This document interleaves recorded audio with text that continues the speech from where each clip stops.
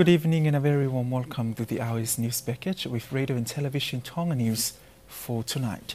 Making headlines an US embassy to be established here in Tonga. People need to prepare for a time the monkeypox virus arrives to the country from New Zealand. And the Legislative Assembly of Tonga offers condolences on the passing of the late former Japanese Prime Minister Shinzo Abe. Now I'm Vafano Bola with the stories in detail. Tongans who wish to travel to Fiji to apply for a visa to the United States have always found it challenging. However, a solution has now been put in place to make things easier. This comes after the Honourable Prime Minister Hu'akavameiliku, who is in Suva, Fiji, confirmed to Radio Tonga News this afternoon that the US government has approved the establishment of an US embassy in Nuku'alofa. At the moment, applying for a US visa requires Tongans to travel to Fiji, and applying for one is expensive. The United States Vice President Kamala Harris announced major interventions at the Pacific Islands Forum Leaders Meeting, announcing that America will substantially ramp up its presence in the region. This includes plans to open two new embassies of the United States in the region, one here in Tonga and another in the Kiribati, with plans to reopen its embassy in the Solomon Islands. She also announced plans to re-establish the United States Agency for International Development, known as USAID Regional Mission in Fiji, and bring Peace Corps volunteers back into the region. Meanwhile, Tonga's Honourable Foreign Affairs Minister Fekitamoeloa Utoikamanu told Radio Tonga News this morning that the meeting in Suva has enabled negotiations with other economic stakeholders for future funds for Tonga through different economic assistances. However, Vice President Kamala Harris also announced in the United States Forum the appointment of a new envoy to the Pacific Islands Forum and pledged an additional 500 million US dollars in funding to the Forum Fisheries Agency in return for fishing rights and dedications of its ties with Pacific nations. The Ministry of Health now have another phone in their sight to worry about after the recent arrival of monkeypox in New Zealand as Tonga continues to deal with COVID-19, the rhinovirus and flu. New Zealand has recorded two cases of monkeypox and there are concerns it might easily pass through our borders from passengers arriving from Aotearoa. Alice Tupo has more on that story. New Zealand has recorded two cases of uh, monkeypox, and there are concerns it might easily pass through our borders from passengers arriving from Aotearoa. The acting director of health, Dr. Ana Kauola, is now urging the public to be prepared and to continue taking preventative measures and to practice good hygiene to minimize the spreading of COVID 19, rhinovirus, the flu, and monkeypox once it reaches the country. She added that the virus can spread from person to person through direct contact with a rash, scabs, or body fluids of an infected person. The symptoms of a monkeypox can include fever, headache, muscle aches, and backache, swollen lymph nodes, chills, exhaustion, and a rash that can look like pimples or blisters that appears on the face, inside the mouth, and on other parts of the body, like the hands, feet, chest, and genitals. Dr. Kauola urges people to always wash their hands, practice social distancing, and wear face masks every time. She also says that Tonga can't stop the monkeypox if it arrives at our border, like COVID 19, because traveling between New Zealand and Tonga won't stop. But the question is will the border open next month if the monkeypox situation worsens? The virus first appeared in Europe and came through Australia and now New Zealand. Reporting for Radio and Television Tonga News, I'm Alice Tupo.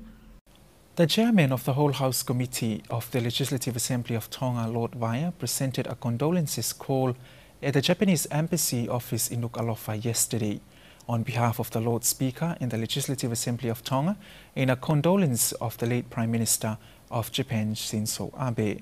Mark Ake will tell you more on that story. The chairman of the House Committee of the Legislative Assembly of Tonga, Lord Vaea, said Abe was a towering figure in Japanese politics and diplomacy and is remembered by members of the Legislative Assembly of Tonga as a transformational and exceptional leader. Lord Vaea added that Abe elevated Japan and Tonga's relations to where it is today, with monumental contribution to our people's prosperity in education, health, infrastructure, energy, climate change, and more. During the program, official condolence letters addressed to the President of the House of Councilors of Japan and also to the Speaker of the House of Representatives of Japan were presented by Lord Vaea. It is understood that the Legislative Assembly of Tonga and Japan's National Diet has maintained working relations over the past decades.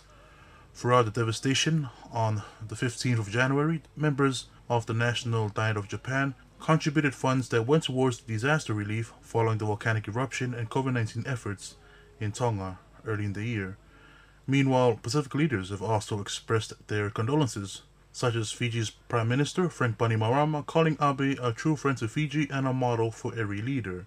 Papua New Guinea's caretaker Prime Minister James Marape credited him for initiating numerous development projects in his country, and New Zealand's Prime Minister Jacinda Ardern described Abe as a kind man who helped usher through many complex negotiations. The numbers of leaders attending the Pacific Islands Forum Summit in Suva, Fiji has dropped further with both the President of the Marshall Islands and the Cook Islands Prime Minister pulling out. It was revealed last weekend that the Kiribati President Taneti Ma'amau would not attend the gathering as his nation had formally withdrawn from the forum. Nauru's President Lionel Aingimea was also understood not to be attending because of the soaring levels of COVID-19 in his country. Now the Cook Islands Prime Minister Mark Brown has also pulled out, saying he wants to focus on his country's election, which is to be held in three weeks. And Marshall Islands President David Kabua has said he would have attended the summit but was not able to because of a legislatively binding action to terminate the country's membership in the forum. That legislation had resulted from the five Micronesian leaders threatening to pull out 18 months ago over a failure of their nominee to the given Secretary Generalship. A forum committee announced last month that a remedy had been found for this rift and that it would be voted on this week's meeting.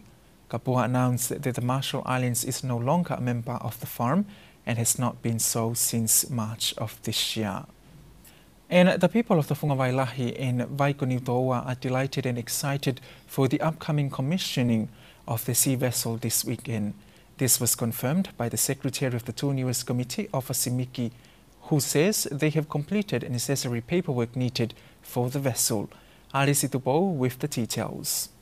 The vessel will be officially commissioned at the Vuna Wharf on Saturday, the 16th of June, by the guest of honor Noble's representative of the Tuniwas, Prince Kalanivalu Fotofili. The vessel was initially set to be commissioned last month, but it was postponed due as paperwork wasn't completed at the time. Ofasimiki says after its commission, the boat will first travel to the Fungawailahi and Waikoniutoa so the two communities can take a look at the outcome of their work. Afterwards, the vessel will start serving the people of Tonga through sea transportation. The vessel is 75 meter long, 10.8 meter wide, and is capable of carrying 650 tons and more than 200 passengers. The vessel is worth more than half a million of the US dollars. Reporting for Radio and Television Tonga News, I'm Alice Tupo. Sports is up next with Mark Ake, brought to you with thanks to the kind sponsorship of Pacific Timber and Hardware.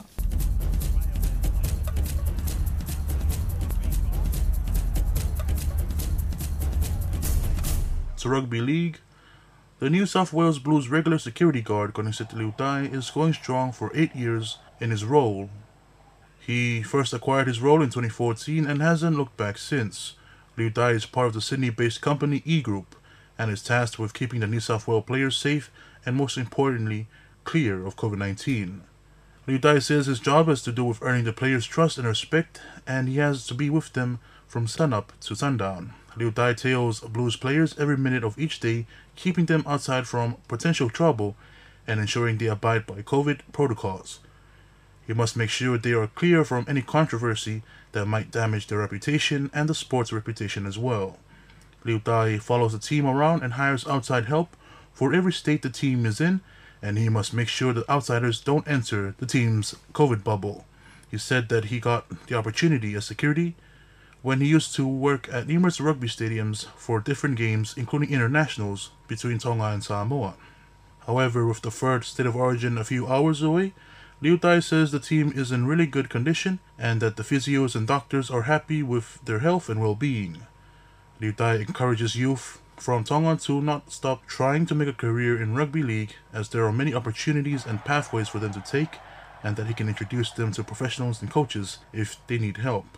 He added that one of New South Wales Islander players recently told him that he bought a house for his mother, and this was really happy news as it shows how far players can make it in the sport to support their families. To football, Tonga Football Association or TFA have signed plans for a new facility to be built at their headquarters in Ototonga.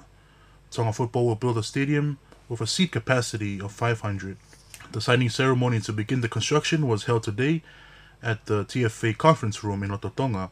The necessary documents were signed by the association's president, Lord Ve'ehala, and general manager of Dexing Construction Limited, Tonga Football General Secretary and CEO Louis Aho, as well as the Dexing Limited project manager, were also present as witnesses.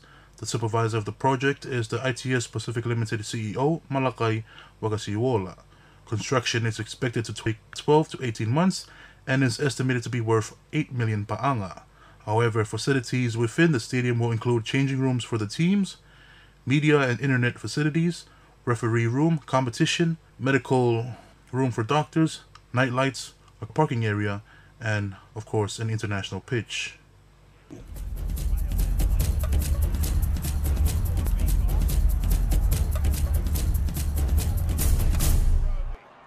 That wraps up this evening's news package, but before we part, here's one final look at today's top stories. An U.S. embassy to be established here in Tonga. People need to prepare for a time the monkeypox virus arrives to the country from New Zealand, and the Legislative Assembly of Tonga offers condolences on the passing of the late former Japanese Prime Minister Shinzo Abe. And that's it for tonight. Thank you for your company. I'm Vaifanato Bola. Good evening.